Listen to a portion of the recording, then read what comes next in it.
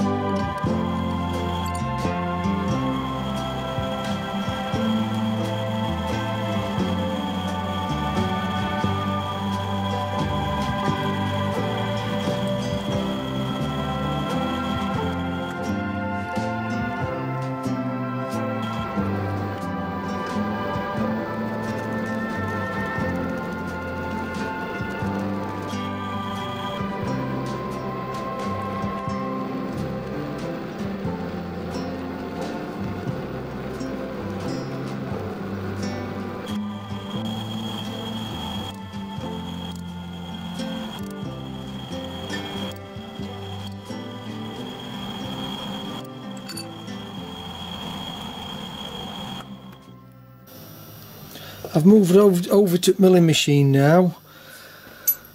I've got both my threads cut on both sides and I'm just going to reproduce this um, this flat on both sides up to where it comes to in the forks. And then when I've done that on both sides on each end I'll be cutting them off to a suitable length to fit for the size for my forks.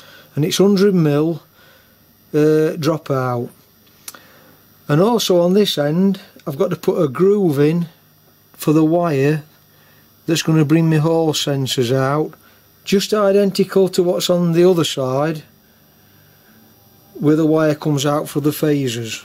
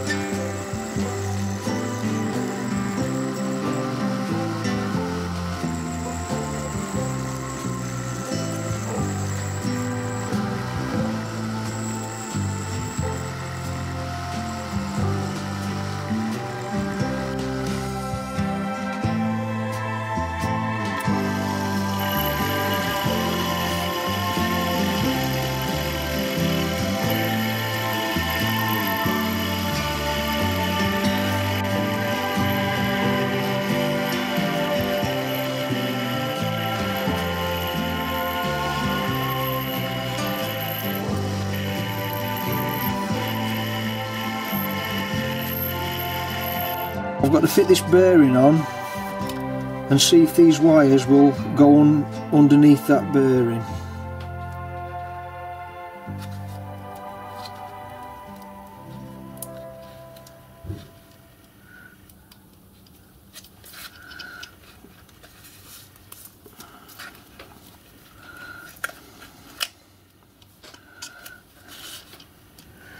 yeah looks like they, that's going to be fine so I've just got to knock the bearing onto the journal now. It's only got to go on approximately 10 mil. And there's enough room to get my wires on underneath. And then I've got to couple these up to these hall sensor wires that are under here. Them five wires. You've got a positive and a negative going to each of the hall sensors. And then you've got your switching wires yellow green and blue. Five wires to couple up. So before I do that then I'm going to cut this shaft down to size now. I've done some working out on my width because I'm changing this from a rear hub to a front hub. So I've got to chop the actual spindle down approximately 30 mil on each side. Then when I've got the end caps fitted onto the motor the original sleeve that protects the wires that goes in there. I've got to modify modify this to a shorter length to accommodate me 100 mil dropout on my forks. Completed all the machining now and I'm ready for soldering my hall sensor wires onto the hall sensors. So on the control board here you've got your, your brown and your black is your positive and your negative. And they're bridged on that little bridging board one going to each hall sensor. So I've only got two wires to solder but they actually go into three hall, three hall sensors the positive and the negative.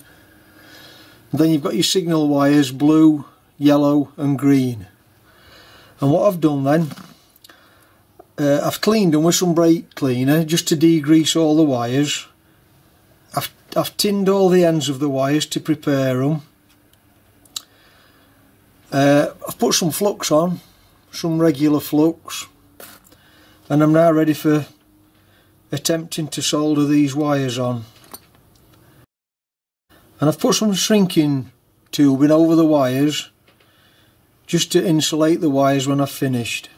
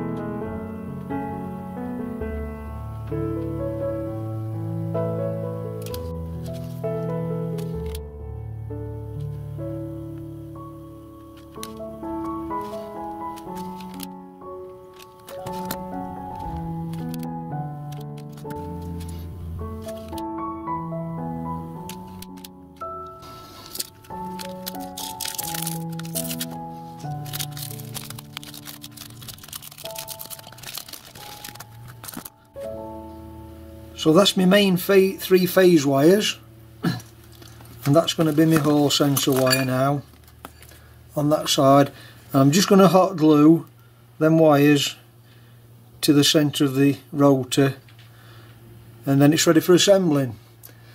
Uh, probably assemble it then on next part then uh, get it all assembled up and into the wheel and we'll have a trial run.